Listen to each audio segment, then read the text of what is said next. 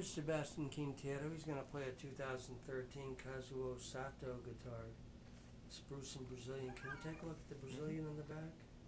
Very pretty stuff.